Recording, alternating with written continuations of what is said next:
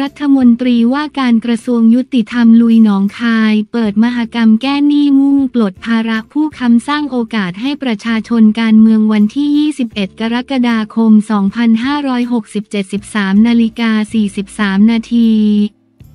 รัฐมนตรีว่าการกระทรวงยุติธรรมเปิดงานมหกรรมแก้หนี้หนองคาย มุ่งปลดภาระผู้ค้ำแก้หนี้กยศแก้หนี้ครัวเรือน แก้หนี้เกษตรกร สร้างโอกาสให้ประชาชนเมื่อเวลา 10นาฬิกา30 นาทีวันที่ 21 กรกฎาคม 2567 ที่ใจ หนองคายพันตำรวจเอกทวีสอดสองรัฐมนตรีว่าการกระทรวงยุติธรรมพร้อมด้วยนายนิยมเติมสีสุขผู้ช่วยรัฐมนตรีว่าการกระทรวงยุติธรรม และคณะที่ปรึกษากระทรวงยุติธรรม เดินทางไปร่วมงาน มหกรรมแก้หนี้สร้างวิถีแห่งความเป็นธรรม ครั้งที่ 36ณโรงแรมหนองคายทาวินล่าตำบลมีชัยอำเภอเมืองหนองคาย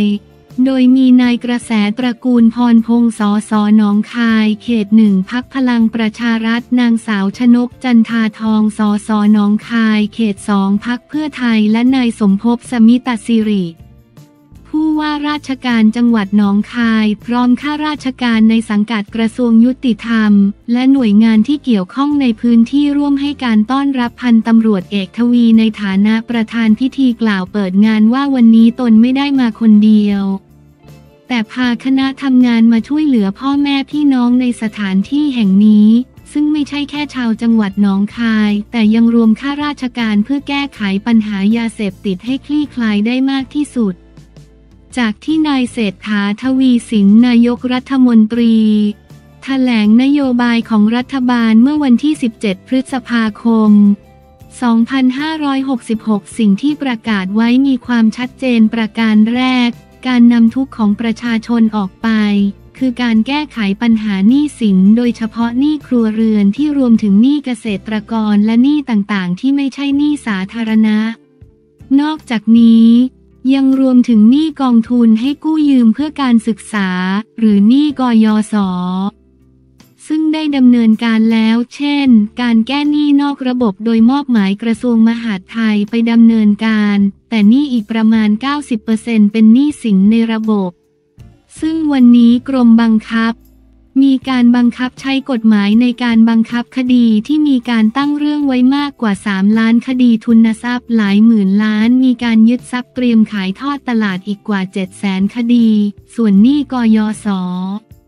ผมเตรียมใช้โอกาสในการจัดเวทีนี้ มอบหมายอดีตผู้บัญชาการปปส พูดคุยกับผู้ว่าราชการจังหวัดหนองคาย เพื่อวางยุทธศาสตร์การแก้ไขปัญหาหนี้ก้อนนี้ ในพื้นที่ประมาณ 6.8 ล้านบาท เป็นหนี้ที่อยู่ระหว่างชำระหนี้ 3.8 ล้านบาทให้ได้รับสิทธิ์ต่างๆ รัฐมนตรีว่าการกระทรวงยุติธรรมกล่าวรัฐมนตรีว่าการกระทรวงยุติธรรมกล่าวว่ากระทรวงยุติธรรมร่วมวางแผนกับกยศ ว่าในกลุ่มผู้ค้ำประกันหนี้ประมาณ 3.8 ล้านบาท กระทรวงยุติธรรมจะพยายามหาแนวทาง เพื่อให้การค้ำประกันเป็นศูนย์ ซึ่งปัญหาหนี้กยศ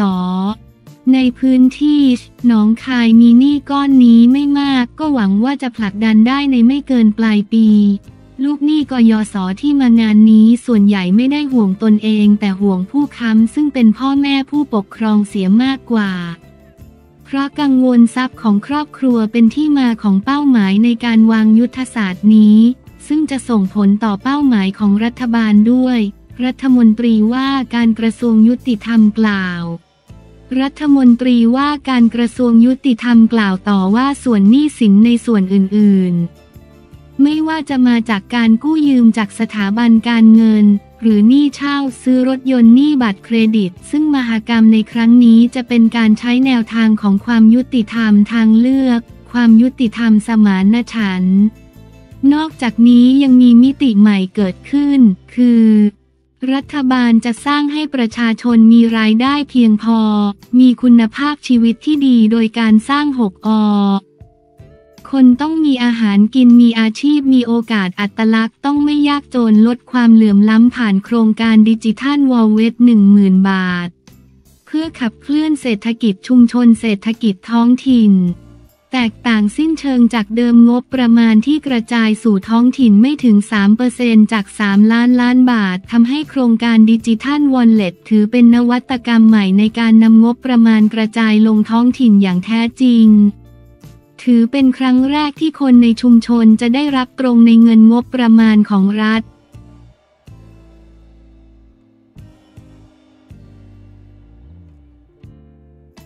โยโรประเดิมสนามแมนยูคืนฟอร์มเก่งอัดเรนเจอร์ คว้าชัยนัดแรกเกมอุ่นเครื่องกีฬาวันที่ 21 กรกฎาคม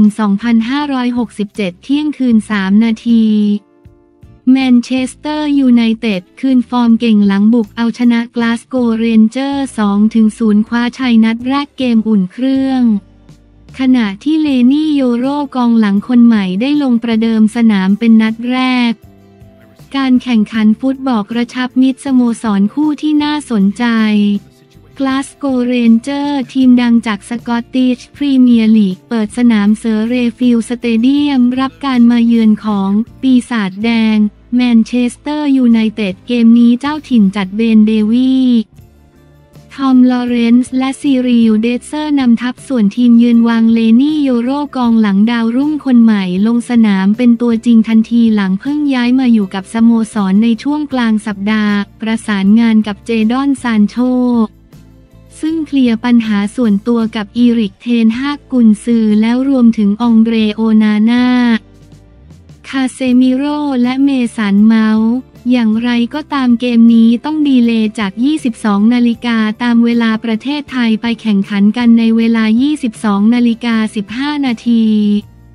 เนื่องจากปัญหาคนดูเข้าสนามล่าช้า Soccer Football Pre Season Friendly Rangers v Manchester United Murrayfield Stadium Edinburgh Scotland Britain July 20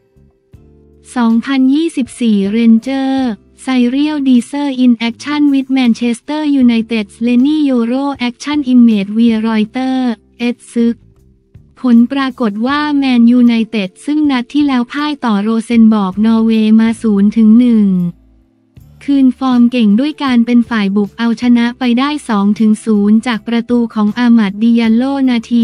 39 และโจฮูกิลล์นาที 70 โดยแมตช์นี้โยโรและซานโชได้ลงสนามในช่วง 45 นาทีแรก Soccer Football Pre Season Friendly Rangers v Manchester United Murrayfield Stadium Edinburgh Scotland Britain July 20 2024 Manchester United Ethan Ennis in action with Rangers Rabbi Matondo Action Images via Reuters Ed Sykes ทั้งนี้โปรแกรมต่อไปของปีศาจแดง คือการไปเล่น pre season ที่ประเทศสหรัฐอเมริกากับอาร์เซนอลวันที่ 28 กรกฎาคมนี้ Soccer Football Pre Season Friendly Rangers v Manchester United Murrayfield Stadium Edinburgh Scotland Britain July 20 2024 Manchester United manager Erik ten Hag Action Images via Reuters Ed Sykes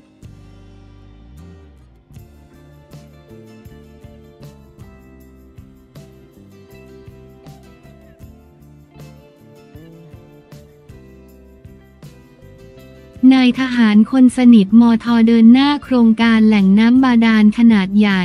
แก้ภัยแล้งอันเนื่องมาจากพระราชดำริ การเมืองวันที่ 22 กรกฎาคม 2567 9นาฬิกา26 นาที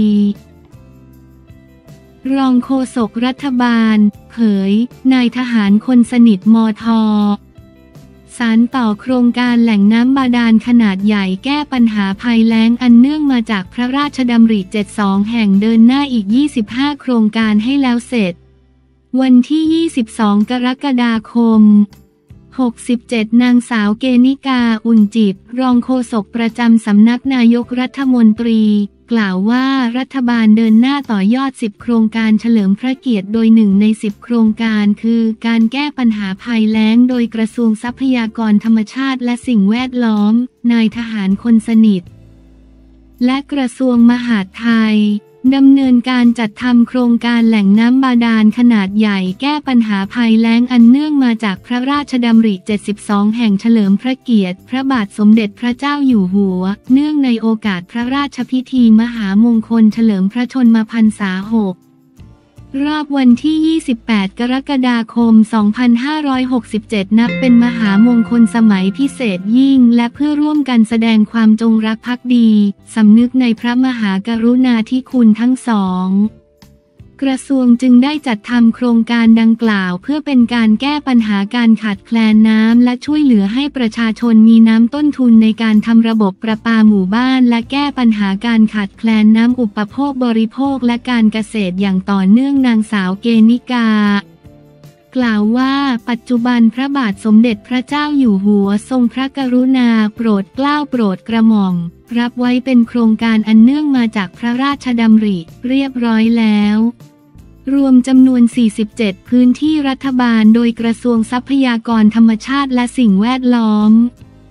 และกระทรวงมหาดไทยจะดำเนินการต่อยอดโครงการดังกล่าวจนครบ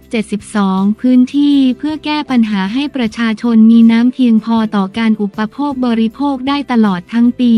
รัฐบาลพร้อมเดินหน้าขยายขอบเขตการดำเนินโครงการเพิ่มเติมจำนวน 25 โครงการเพื่อให้ครอบคลุมพื้นที่ทั่วประเทศ โดยจะพิจารณาพื้นที่พื้นที่ประสบปัญหาภัยแล้ง และขาดแคลนน้ำ ไม่มีศักยภาพในการเจาะบ่อน้ำบาดาลจำเป็นต้องทำการเจาะบ่อน้ำบาดาล พร้อมก่อสร้างระบบประปาขนาดใหญ่ ในพื้นที่ที่มีความเหมาะสมเพื่อช่วยเหลือประชาชนไม่ให้เดือดร้อน โดยจะสำรวจข้อมูลภาคสนามและประชาคม เพื่อคัดเลือกพื้นที่เป้าหมาย พร้อมทั้งทำการประเมินศักยภาพน้ำในพื้นที่ รวมทั้งออกแบบระบบกระจายน้ำจากนั้นจะทำการสำรวจออกแบบโครงการ และพัฒนาระบบประปาบาดาล และการก่อสร้างระบบกระจายน้ำ นางสาวเกนิกา กล่าว นางสาวเกนิกากล่าวว่ารัฐบาลหวังว่า ประชาชนที่ประสบปัญหาการขาดแคลนน้ำเพื่ออุปโภคบริโภคในพื้นที่หาน้ำแล้งซ้ำซากจะได้รับการแก้ปัญหาการขาดแคลนน้ำสะอาดอย่างเป็นระบบและยั่งยืน ประชาชนในพื้นที่มีน้ำสะอาดใช้ในการอุปโภคบริโภค ซึ่งจะส่งผลให้คุณภาพชีวิตของประชาชนในพื้นที่ดีขึ้น ลดรายจ่ายในการจัดหาน้ำเพื่ออุปโภคบริโภค ประกอบอาชีพรวมถึงเกษตรกรรม